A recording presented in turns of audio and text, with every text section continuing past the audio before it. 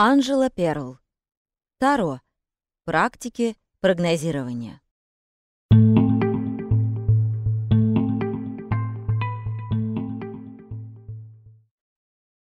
Как начать обучение? Купите карты Таро. Можно купить любую колоду, но в этой аудиокниге мы будем учиться по колоде Уэйта. Эта колода появилась в начале 20 века, в 1909 году. Она считается классической и очень популярна во всем мире. На ее основе родились десятки версий колод Таро. Я буду упоминать о некоторых из них в этой аудиокниге, чтобы вы поняли мой личный подход к гаданию. Дам несколько простых советов для скорейшего запоминания значений карт. Когда вы будете слушать эту аудиокнигу, я вам очень рекомендую прямо на карте с тыльной стороны выписывать ключевые слова, которые к ней относятся. Так вы быстрее запомните значения всех карт. Каждый день утром, доставая карту дня, вы сможете начать обучение с того, что посмотрите, темная или светлая карта вам выпала. Улыбается на ней персонаж или плачет, что на ней изображено, а вечером сравните основной посыл карты с событиями прошедшего дня. Мы легче запоминаем карту, когда она уже с чем-то личным ассоциируется. Вот по этой карте у меня телефон сломался, а по этой машину стукнули. А по этой карте я познакомилась с моим будущим мужем, а вот по этой карте, где голова перевязанная, у меня тоже болела голова. Рекомендую. Ведите дневник, Кратко записывайте информацию, которую вам поведала карта, и то, что случилось в этот день, анализируя, что карта дня могла означать. Может, это был очень спокойный день, в который ничего особенного не происходило, а в иной день все было очень интересно, и карта предупредила вас об этом. Вернемся к нашей колоде. Колода Уэйта названа по фамилии Артура Уэйта, философа, масона, автора дизайна карт, увлекающегося символизмом. О символике карт Таро есть много информации в интернете и в других книгах, и я не буду здесь много времени уделять этой теме. Я работаю как практик, и символы лично мне не очень помогают в раскладах. Когда у вас есть какой-то конкретный вопрос к картам, например, закрывать мне бизнес или нет, то белая лилия, нарисованная где-то на карте, мало вам поможет в поиске ответа. В этой аудиокниге я буду больше внимания уделять тому, как будут проигрываться карты Таро в разных ситуациях, что они будут означать, а под конец мы разберем расклады в сочетаниях и комбинациях. Итак, колода Таро — это 78 карт, где 22 старших и 56 младших арканов. Талантливая художница, подарившая миру изображение карт этой колоды, Памела Колман Смит. Колода была создана специально для гаданий, что сделало ее очень и очень популярной. Некоторые считают, что колода Уэйта является самой старой колодой, но на самом деле это не так. Было много колод и до нее. Уже в 15 веке в Европе, в Италии были свои таро. В хрониках Флоренции есть упоминание о таро под названием «Трионфи» а в 1450 году в Милане стала популярна колода Висконти Сфорца. В Александрийской библиотеке, когда она сгорела, было найдено 78 глиняных табличек со знаками карт Таро. Трудно даже представить степень их древности. Существует легенда, что в Древнем Египте был храм с 22 комнатами, стены которых были украшены рисунками из древнеегипетской книги мертвых, от которых впоследствии произошли старшие арканы Таро. В Египет карты Таро, скорее всего, пришли из Вавилона, потому что Таро тесно пересекаются с астрологией, со знаками зодиака, так что след Таро тянется к нам из глубокой древности. Как я уже говорила, старшие арканы — это 22 карты. Каждая из этих карт имеет свой номер, оригинальный рисунок и только ей присущее название — дурак, маг, жрица, императрица — Император, жрец, влюбленный, колесница, сила, отшельник. Колесо фортуны, справедливость, повешенный, смерть, умеренность, дьявол, башня, звезда, луна, солнце, суд, мир. Порядок следования карт и наименования в различных вариантах колоды Таро могут несколько отличаться. Младшие арканы, 4 масти, всего 56 карт по 14 карт каждой масти, состоят из четырех серий — жезлов, мечей, чаш и пентаклей. Каждая масть содержит туза, двойку, тройку и так до десятки, за которые идут придворные или фигурные карты — паш, рыцарь, королева, король. Вы можете работать сразу со всей колодой, а можете использовать только 22 старших аркана. Старшие арканы — это наиболее важные карты. Когда вам выпадают старшие арканы, это означает какое-то важное событие или что-то, что точно произойдет и сильно повлияет на жизнь человека, которому гадают. Если в раскладе больше выпадает старших арканов, то что-то в жизни будет происходить по-настоящему серьезное. Младшие арканы считаются энергетически слабее, они лишь дополняют ситуацию.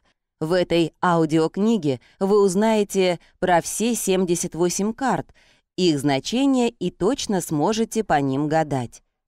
За мечами, чашами, жезлами и пентаклями стоят четыре стихии.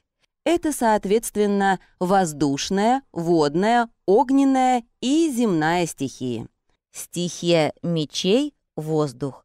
Это быстрая смена событий, все, что связано с мыслью, с тем, что и как мы говорим, пишем, а также со знакомствами, общением, речью, обучением, языками, все, что связано с коммуникацией. Что такое чаши? это водная стихия. Вода — это эмоции, смена настроений, любовь, дружба — это переживание, очарование и разочарование, творчество и вдохновение. Жезлы — это огненная стихия. Это знак того, что человека ждет быстрая смена событий. Что-то произойдет и произойдет быстро, если у вас выпало много жезлов. Жезлы означают активные действия — спорт, работу, бизнес, поездки, а также все, что связано с транспортом — автомобили, поезда, самолеты, все, что требуется для обеспечения скорости движения или действия. Пентакли — это земная стихия, самая медленная из стихий. Это все, что связано с деньгами, финансами, заработками, покупками, ценностями и недвижимостью. Самая большая ценность — это здоровье. Понятно, что стихии в самом широком смысле — это сферы нашей жизни. Мы коснемся всех сфер человеческой жизни не упуская ничего важного. Высшие арканы. Смотрите приложение номер один. Дурак. Карта нулевая. Знак зодиака — Водолей. Планета-управитель — Уран. Стихия — воздух. Мы начинаем свое захватывающее путешествие в мир карт Таро. Перед нами нулевая карта, которая называется «дурак» или «шут», а иногда «глупец». Напомню, что у нас 22 высших аркана, а в астрологии 12 знаков зодиака и 10 планет. То есть каждый высший аркан соотносится напрямую либо с планетой, либо со знаком зодиака. Дурак соотносится с планетой Уран, а Уран — это планета всего нового, планета неожиданностей, новых технологий, планета крутого поворота событий, того, чего еще не было. Перед нами нулевая карта, и мы можем в самом общем смысле прочитать ее так. С легким сердцем все надо обнулить, начинать с нуля. Посмотрите, что изображено на карте. Человек идет с маленькой котомкой. Он ничего за собой не тащит. Он ни к чему не привязан, он свободен. В самом общем смысле дурак — это карта риска, свободы, когда ты идешь налегке и не видишь, что там будет дальше. Это карта неизвестности или чего-то такого, что вы раньше не делали. Это момент жизни между прошлым и будущим. Это карта неожиданности, сюрприза, невероятных возможностей — это абсолютно новые знания, то, что вы раньше не изучали, то, чем вы можете удивить окружающих. Например, вы пошли учить арабский язык, записались на курсы астрологии или решили узнать все о Таро. Если в вопросе речь идет о профессиональной деятельности, то это карта айтишников, программистов, новых технологий и криптовалюты, того, что многие еще не понимают. Уран в том числе отвечает за авиацию, электрику, метеорологию и астрологию. Речь может идти о человеке необычной профессии, Например, об астрологе, а может быть, это будет фрилансер. Фриланс — это тоже что-то новое и нестабильное. Это же не зарплата, фрилансер никогда не знает, сколько заработает. Уран — это телевидение, радио, журналистика, все, что связано с эфиром, а также социальными сетями. Уран — планета интернета, блогеров, веб-дизайнеров, всех тех, кто работает в интернете, а также Уран — это иностранные языки и путешествия. Когда задают вопрос, так это хорошая карта или нет, то как посмотреть? Если вы любите приключения, если вы хотите эмигрировать в другую страну, выучить другой язык, если вы интересуетесь чем-то новым в профессии, то для вас это суперкарта. А если вы очень консервативный человек, не любите перемены, если вы боитесь всего нового, то для вас это плохая карта. Например, вы вытащили карту дня «Дурак».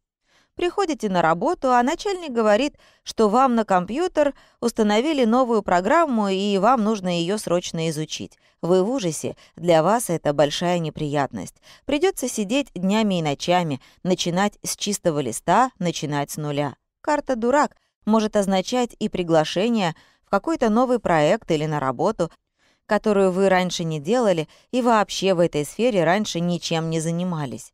А может быть, что-то подтолкнет вас начать бизнес, о котором вы раньше ничего не знали. Или вдруг вы решите попробовать себя в какой-то абсолютно новой для вас сфере. Если вы хотите узнать про результаты этих начинаний, то это второй вопрос. Нужно вытаскивать следующую карту. Это могут быть замечательные начинания, а могут быть и пустые хлопоты. Про это скажет следующая карта. Если вопрос задан про финансовую ситуацию, Пришла клиентка, у которой плохо идет бизнес, и она спрашивает, закрывать мне бизнес или взять кредит и вложить еще денег, чтобы как-то поднять этот бизнес. Какой ваш ответ по этой карте? Закрывать. Эта карта невозврата в прошлое, а карта, советующая оставить старое и идти в новое, может быть, в новую сферу. Обнулить предыдущие планы. Здесь поговорим немного об этике гадания. Когда мы проходили эту карту, на вебинаре меня спросили, корректно ли людям говорить, что делать. Но они же пришли к вам задавать вопросы. Вы же не можете молчать. Я никогда не говорю, вам нужно делать то и то. Я показываю карту и говорю, вот эта карта, которая выпала, означает новое. Даже если сейчас вы потеряете по нулям закроете этот бизнес, вам лучше двигаться вперед. Решать, конечно, вам, но я бы вас предостерегла брать кредиты и вкладывать их в этот бизнес.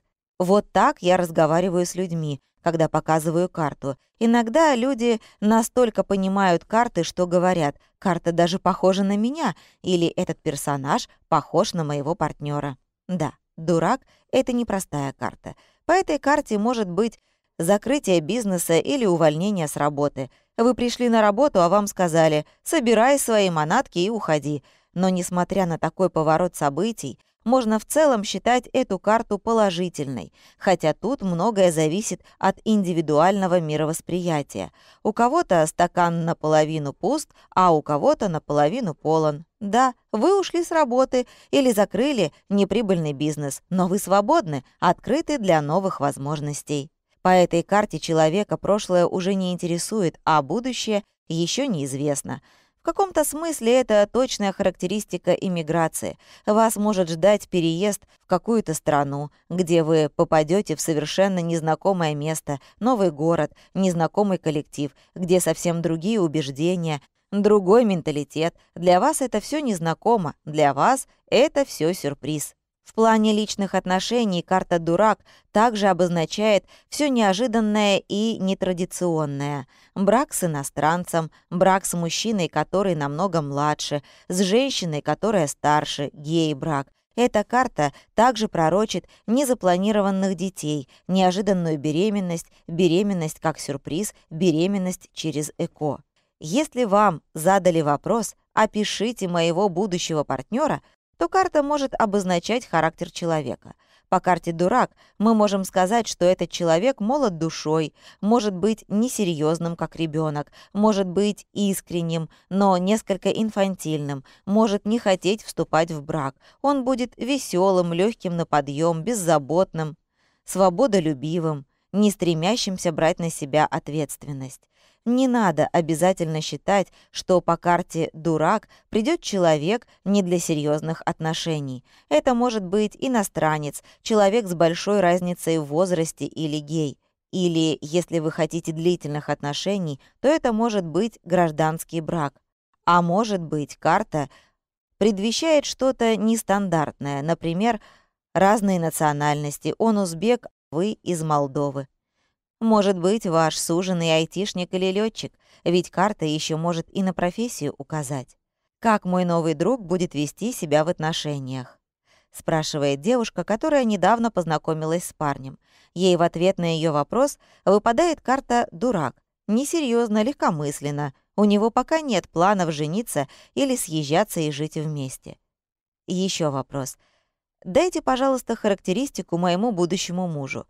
По карте «Дурак» мы можем дать такую характеристику человека. Веселый, легкий на подъем, как ребенок, скорее всего, младше. Возможно, это будет иностранец, а может быть, это будет программист или фрилансер, а может быть, младше по возрасту, а может быть, водолей по знаку зодиака.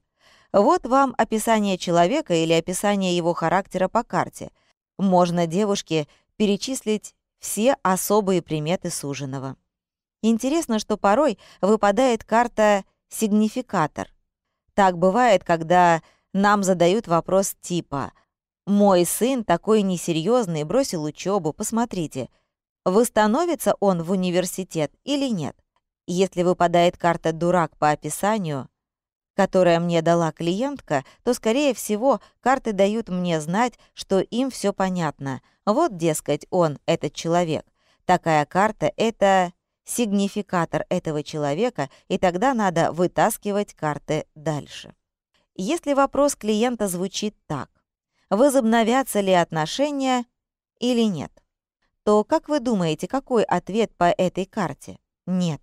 Человек уходит, он уходит в никуда. Он даже не знает, куда он уходит. Дурак — это не карта возврата к старому. Этот человек уходит, и он уже думает о будущем. Дурак — это карта будущего, потому что Уран, который у нас ассоциируется с этой картой, это планета будущего, путь к новому.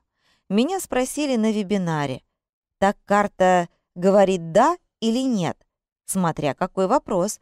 Например, такой вопрос. «Отсужу ли я у мужа дом при разводе?» Какой здесь ответ? Нет, не отсудите. Смотрите на карту. Человек уходит налегке, ни с чем. Или вопрос, возвращаться ли к бывшему или нет. Нет, не возвращаться. Ключевое слово здесь «свобода». Другой вопрос.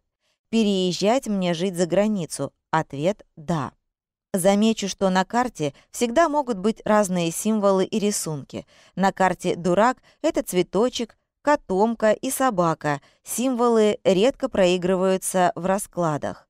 Но про собаку лично мне запомнилось. Женщина гадала на ребенка, и выпадали карты пентаклей, карты денег. Мы не могли понять, почему ребенок и деньги. Перебрали все варианты. Женщина говорила, что они не собираются ничего оплачивать или тратить. В результате карта проигралась так. Ребенка укусила собака но так как собака была застрахована, им выплатили большую компенсацию. Девочка при этом серьезно не пострадала. Символически собака может означать друга, который помогает, предостерегает или дает советы. Иногда карты могут проигрываться буквально, но это редко, поэтому чаще всего про символы на картах можно сказать так. Собака лает, караван идет.